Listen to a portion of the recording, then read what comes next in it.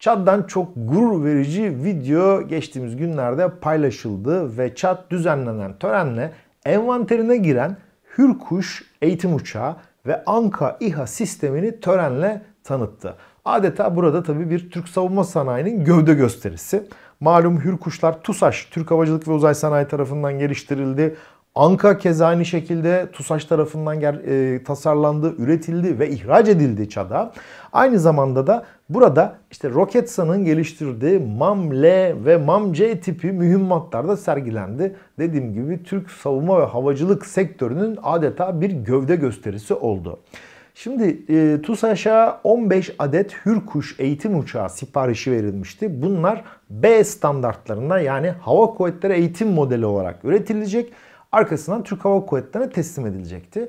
Ancak işte e, zamanla yaşanan çeşitli gelişmeler, ihtiyaçlar, tabi bir taraftan işte öğretmen pilot sayısı, yetiştirilen pilot sayısı gibi sorunlar nedeniyle Türk Hava Kuvvetleri ile TUSAŞ yeni bir anlaşmaya vardı ve Hürkuş 2 olarak adlandırılan bu mevcut Hürkuş'un biraz daha gelişmiş modeli, biraz daha farklılaştırılmış bir modeli üzerine çalışmalar yapıyor yapılıyor. Muhtemel 2024'te de yeni Hürkuş'u, Hürkuş 2'yi göreceğiz. Peki bu elde üretilen 15 adet uçak ne olacak? Bunlar konusunda Türk Hava Kuvvetleri'nin onayıyla projenin asıl sahibi Savunma Sanayi Başkanlığı'nın koordinasyonunda bu uçakların ihraç edilmesi için düğmeye basılmış oldu. Ve ilk ihracat da Nijer'e iki uçakla gerçekleştirdi bu yıl içerisinde.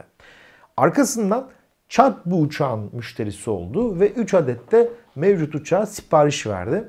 Geçtiğimiz Nisan ayında da Türk Hava Kuvvetleri'ne ait A400M tipi askeri nakliye uçağıyla Ankara Kahraman Kazan'daki TUSAŞ tesislerinin bulunduğu bölgede uçaklar güzel işte kanatları ayrıldı, gövdeleri güzel paketlendi, A400M'e konuldu ve TUSAŞ ekiplerinin koordinesinde e, A400M askeri nakliye uçakları Çad'a giderek bu uçakların teslimatını gerçekleştirdi.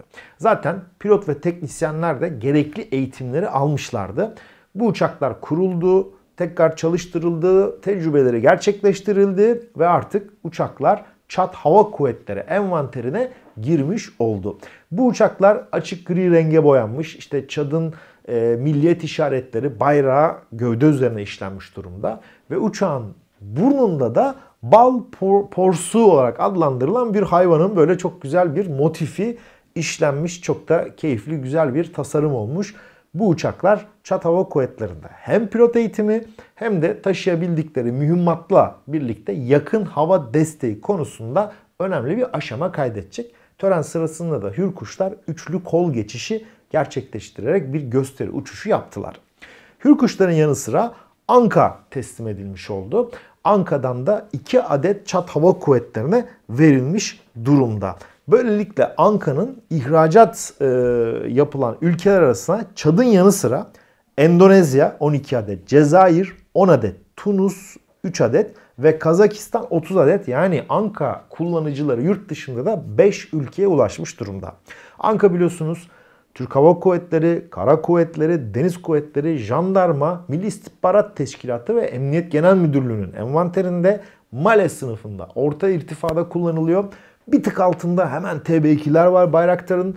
E, Baykar'ın yaptığı Bayraktar TB2'ler var. Üstünde Anka var. Hemen üstünde çift motorlu Aksungur var. Aksungur'un da kapasite olarak bir üstünde Akıncı arkasına jetler başlıyor biliyorsunuz. Kızıl elma uçtu testleri de gerçekleştiriyor.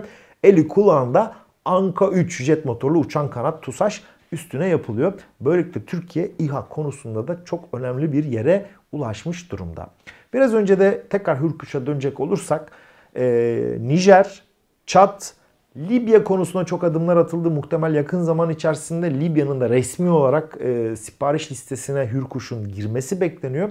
Ve bu şekilde eldeki Hürkuş'larda değerlendirilmiş oluyor. Dediğim gibi 2024'te de eli kulağında Hürkuş 2 için ilk uçuş işte imalattan, fabrikadan çıkarma, ilk uçuş gibi süreçlerin içerisine giriliyor. Bunlar gerçekten bu görüntüler benim gibi havacılık sevenler, savunma sanayi yakından takip eden kişiler için gerçekten gurur vesilesi.